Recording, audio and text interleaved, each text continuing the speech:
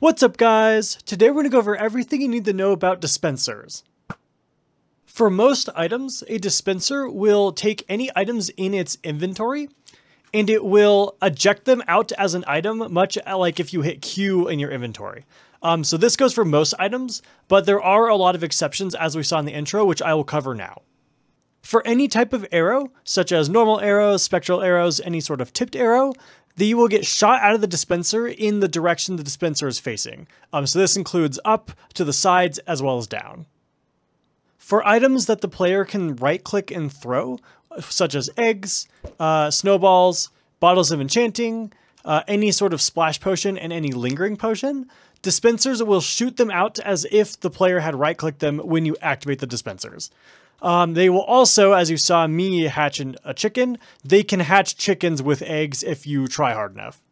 Now, in order to test out the interaction with fire charges, I have an art gallery here, and if we have dispensers facing it and I activate them, we can see that the fire charges get shot out as projectiles, much like a blaze would shoot out its fire charges, and it will ignite any flammable materials, otherwise it will just light them on fire, much like you used flint and steel. If you have a boat in the dispenser and there's no water, it will throw it out just like an item. Now, if I have the dispenser uh, one block above the water facing the water, and I do it again, it will place the boat as an actual boat.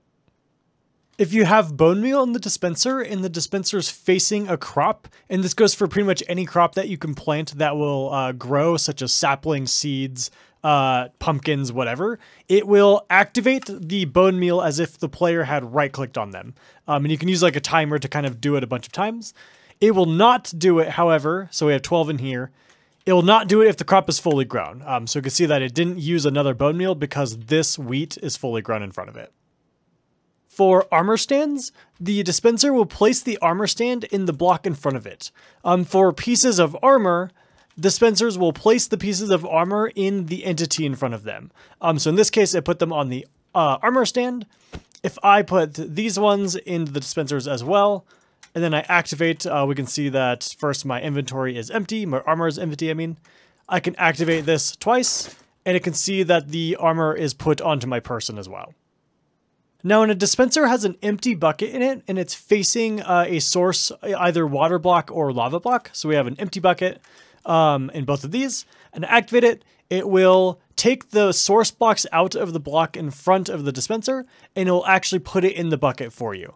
Um, likewise, if we activate it again, it'll place the buckets back in the world. So we end up with empty buckets and the source blocks back in the world. Um, this goes for other ones as well. So I have a, a powder snow bucket as well as a uh, bucket of axolotl.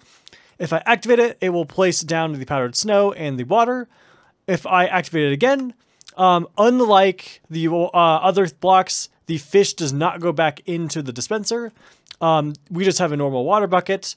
The powdered snow did in fact go back in, uh, but be aware that the fish do not go back in. For fireworks, the dispensers will shoot the fireworks in the direction that they're facing. For flint and steel, the blocks will behave a lot like as if the player had right-clicked the flint and steel, in the case of lighting things on fire, it actually lights the block uh, below the dispenser's face uh, on fire. If you have a block in front of it, it won't do anything. So in this case, we can light that on fire, we can light an unlit campfire, and we can ignite, and it will also ignite TNT. Flint and steel can also be used to ignite portals, assuming the portal frame is valid. Now in the case of TNT, and in this case now it's TNT in the dispenser and not in front of it, the dispenser will put the TNT in the direction it's facing, as well as ignite it. Now, similar to boats, minecarts and any minecart variants will be placed on rails if there are rails in front of the dispensers, uh, just as you would if you right-clicked it. If there are no rails, then it will just throw them out as an item. In the case of mob heads, uh, this goes for zombie heads, uh, wither skeleton skulls, dragon heads, um, all of that kind of stuff. If it's in a dispenser and it can put it on the entity in front of it, much like armor, it will do so. So we can see that it put the dragon head on top of my head.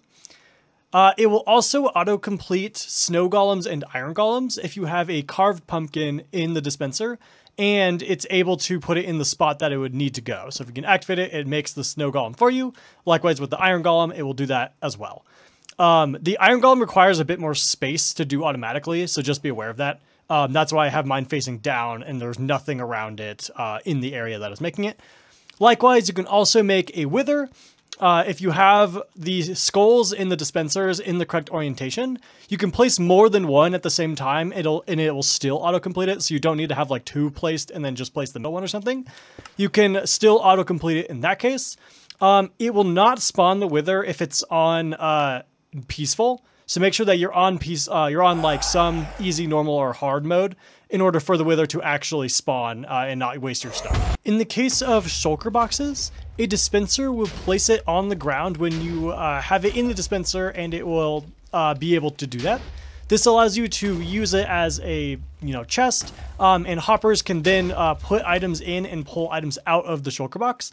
Using the dispenser again will not pull the shulker box back into the dispenser, however. Um, you can have it drop as an item by using a piston, uh, so this still lets you kind of go in a circle if you want to place them and then get rid of it and place another one, uh, but you need to have a piston there and it's not just the dispenser that can do that. For any type of spawn egg, the dispenser will spawn the entity in the direction that the dispenser is facing. It'll only spawn hostile mobs if you're not on peaceful. In the case of tridents, uh, the dispenser will shoot the trident as if you have thrown it uh, in the direction that the dispenser is facing. This is only for Bedrock Edition. I'm in Java Edition, so you're going to have to uh, use your imagination. In the case of shears, a dispenser will attempt to shear an entity standing immediately in front of it. Uh, so if we use this dispenser that has shears in it, it will shear the sheep just like if the player had right-clicked the shears on the sheep. In the case of glass bottles, it depends what the dispenser is facing. So if there are empty glass bottles in these dispensers, I have a honeycomb that is, or sorry, a hive that is full of honey, and I have a water source block, and then I have nothing. If I activate it, it will fill this water bottle with water. It will then take the honey out of the hive and put it into the bottle. And if there's nothing that the dispenser can do, it just throws it out as an item. So you want to be careful uh, not to do that. Likewise, if I activated this again, it actually throws now the water bottle out and it also throws the honey bottle out um, as well because they're not able to do anything, so it just throws it as an item. Uh, so watch out for that. You don't want to accidentally throw out water bottles when you don't want to. In the case of having water bottles in the dispenser, so now instead of an empty bottle, it's a water bottle, um, anything that can turn into mud will. Um, so we can turn that coarse dirt, in that case, into mud, but anything that could uh, turn into mud, it doesn't matter what block it is, will be able to turn to mud using the dispenser like that. It does use the water in the glass bottle, so then you'd have to extract it and put it back in if you want it to be automated. Now, just like with armor that's made for people, um, horse armor, saddles, and carpets for their respective animals can also be put on the animals using the dispensers. Um, so in the case of a tamed horse, uh, so this horse isn't wild, I can put horse armor on it by using the dispenser. I can also put saddles on pigs and other animals by using the dispensers, and you can also do it for carpets uh, for llamas, I believe. Now for animals that can have storage space, you can put chests in the dispenser and as long as the animal's tamed, you can add the storage space to the animal uh, as you would normally. For honeycombs, you can wax uh, any copper block using the dispensers if you have the honeycombs in the dispenser. Um, so I can use it right there. Um, it doesn't have any visual difference, but these are now waxed. Uh, my shaders are, I guess, a little bit more shiny uh, than normal. Uh, these are now waxed and they will not oxidize any further. For glowstone, you can use uh, glowstone in the dispensers to charge respawn anchors. So this one I just placed down. If I use it, it will fully charge it. Now, much like fire charges, you can also shoot wind charges out of the dispenser. Um, so I can activate the lever and I can have the wind charge hit the ground, uh, hit the these blocks behind me, and launch me into the air a little bit. I feel like this interaction has quite a lot of possibilities. Now, some things that the dispensers don't do, but I kind of wish they did. If you have a sapling in the dispenser, it will not place the sapling. It will just throw it as an item. Um, likewise, if you have any sort of seed and it's in front of farmland, it will not automatically plant your seeds. Um, as well as if you have an axe and you have unstripped logs, it will not strip the logs for you.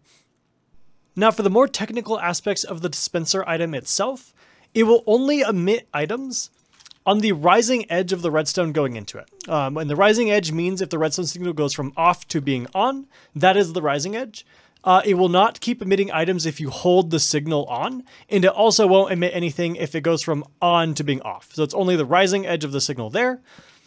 Now the item itself, uh, the dispenser itself is opaque, which means if I put a signal going into it, I can grab the signal on the other side, whereas a transparent block uh, will not do that. Um, so it's opaque in that sense. Now, if you're in Java Edition, the dispenser is one of the few items that has quasi-connectivity. And what quasi-connectivity means is if the block above it would be powered, uh, doesn't matter if there's something there that is powered, but if it would be powered, then it gets powered itself as well. Um, so an easy way to show this is I can power the block two blocks above it. Um, so this gold block is being powered by the redstone dust. Then the glass block would be powered if there was something there, which means that the dispenser is going to be powered. Um, now, if I turn this on, we see that it doesn't emit anything. Uh, this is because in this orientation, it's not receiving a block update. I have to give it a block update and then it will get the memo to do something. Um, this is just cause quasi connectivity is really weird and it doesn't block update it if you do exactly this situation.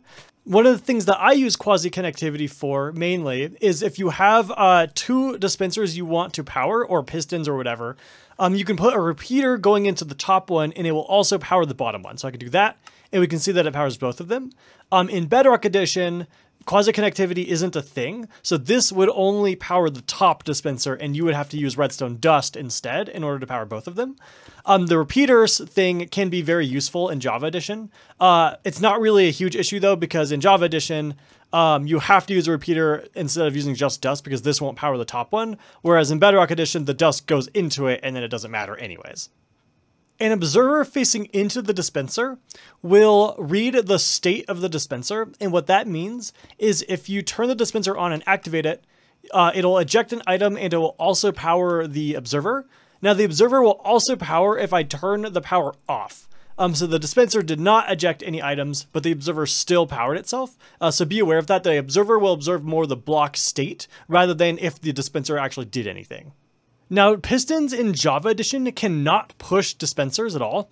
Um, so I'm in Java Edition, so my piston isn't going to be able to do anything. However, in Bedrock Edition, you can push the dispensers with pistons and you can pull them as well, um, which offers a little bit more flexibility. Alright guys, that'll be it for this video. Um, I hope I didn't miss any interactions. If I did, feel free to leave a comment with it. Um, and also feel free to leave a comment if there is an interaction that doesn't exist that you think would be very useful. I hope you have a wonderful day and I hope to see you next time.